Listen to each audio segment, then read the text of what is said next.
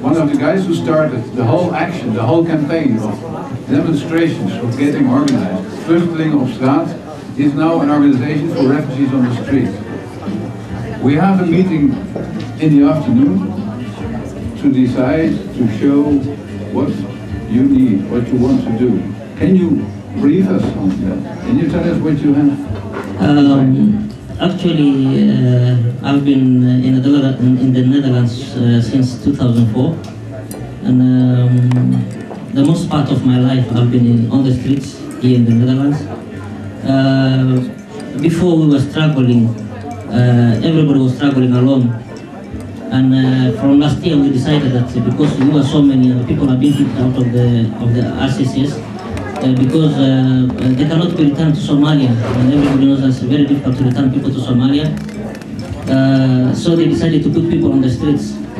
And uh, we decided to form an action group uh, so that we can, uh, in togetherness, at least do something.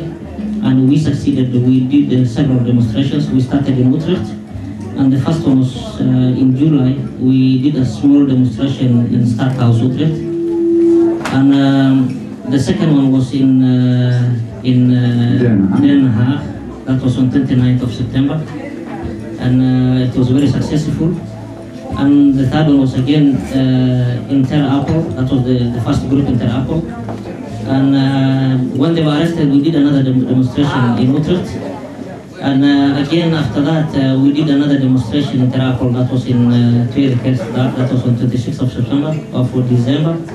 And uh, we are continuing to struggle to do more demonstrations to, to, to unite with people. Actually, it's not only the people from Somalia that are actually in this situation, although uh, we are the majority in the group now, but we have so many people. We have people from Armenia, from Afghanistan, from Iraq, from Iran. Uh, we have so many uh, nationalities in Vluchteling Opstraat. It's not only about Somali people, because we share a common goal. We are all on the streets. uh, We are brothers uh, suffering together. We are all on the streets, and uh, we think that uh, we should not. Uh, uh, in, if, you, if you fight alone, you cannot reach anywhere. We should fight in togetherness, and that's what, we are doing now. We are a very big group, actually, from every country. We have actually organized several people with, with several organizations from Amsterdam, Rotterdam, Nijmegen, Emmen, everywhere. And uh, it's for uh, the fruit conference is for all nationalities.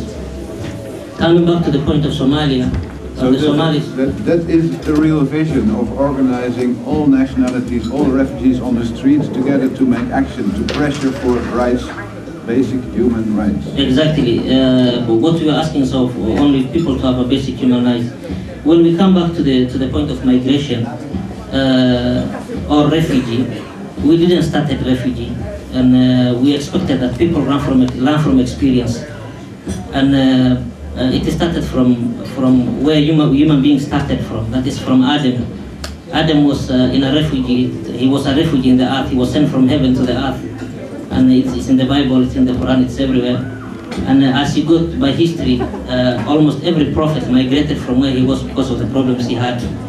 And uh, people will be migrating, people will be moving until the end of the world. It's not, the Dutch had a lot of problems in the First World War, in the Second World War.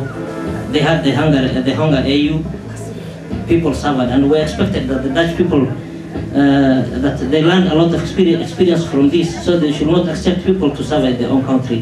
When you leave somebody at this extreme weather on the streets, somebody has nothing to eat, somebody has nowhere to sleep, and uh, you are just uh, staying in your house uh, and, and you think uh, uh, nothing about.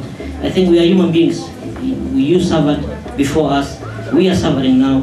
So you, it's better what I could say that uh, people to think about us, to help those people on the streets, uh, to see how these people can be helped. Actually, uh, should not accept people to be to be to be put on the streets. Okay, thank you. I think this is clear message. And I think that everybody understands very well what we are fighting for. Can you repeat the message, please? Uh, the message is basically very simple. Help us fight for our life in Holland. Unite. Help us fight for the rights. And if we work together, we can make a difference. That's what we've proved.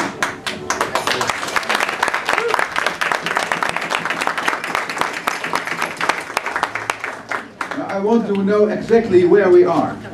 So, Marianne, and maybe you help her. Can you tell us what is the situation right now? We have 56 people in Ter Apel waiting. For what? We have 20 people in Vught. They're all represented here. And we have Mustafa organizing. What is the situation for the Somali people on the streets? What is the perspective? But what is the situation right now to start with? Marianne, can you do that? These people are still waiting. Uh, They're waiting for a solution. Waiting for a solution from this government and from the people in Albany. Until until now, until now, they only reached their inside, and that's it. They have they have a roof above their head. That's, that's everything. They're still waiting And what are they waiting for? to have a life like like you and me, like everybody. Like, the rights, like the same rights like the people in Albany. Yeah, I'm one of those who live in Traba. 56 people who live in Traba. So next week we, as they told us, we will wait the interview. So With IND? with IND. So might be that interview, but we don't know what happened, what they told us. But we we hope that we don't want to back in streets because more than five years, three years, two years, we live already in streets. So we afraid that when they, when they will take interview, might be the next week they will kick off, start or they say go out. Yes. So we we afraid that. So we hope that we But you know what can happen, so you can think still we don't know what happened, but we we know what the IND doing. they, So- what they mostly do is put you on the Yeah, because now today uh, I'm from Trabal. Yesterday they took out uh, some of Somalians, two persons they kick out. They say go and live streets. So we we afraid that, Yes. and we are one of the we are the group or the, the group 56. of Somalians, 56 who live in Trabal right now. So you talk a lot about what you can do when that happens, and what kind of help you need. Can you tell me? we uh, we want to fight. Uh, for example, we, we need help. We need uh, to help us to to to, st- to stand for us because we don't want to live in streets. What kind of help? To to give us or to, to make us a new demonstration. A new demonstration. Yeah, a new demonstration Okay. Where? in Tarabal, Den Haag, whatever. Can You, do, can we do you, it here? you is not help, is right. Yeah, that's Right. our right. Okay. We need what human can need. We So- are human. Okay. What kind of example- help? What kind of help do you need to organize a demonstration? Any, any, any kind of demonstration. Okay. I ask the question to everybody because we all have experience in organizing demonstrations. What? Who can contribute to organizing the next demonstration? Any ideas? Please come here and tell us about it. Uh, adding adding on, on the point of helping us on demonstration, uh, we have a blog po- uh, blogspot uh, that is uh, vluchtelingopstraat at blogspot.com or uh, Vluchteling op straat on Facebook. Uh, you can uh, check there. We ask for help from there. Uh, we all, all the time ask for tents, for blankets, for every help that we need. We actually write it on the blogspot and, and on the Facebook page. And we need more people to join us because when there are so many Dutch people uh, that are watching then it's not easy for them to come uh, and, and do something or arrest people.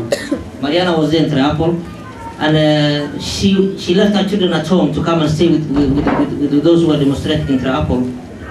And uh, actually, uh, until they came and arrested everybody there, and uh, you know they were trying, she was trying to keep her vigil high because if if nobody is there, there's no Dutch, if there's no Dutch uh, people who are with us on the demonstration, it's, it's, it's very simple for, for them to do whatever they want.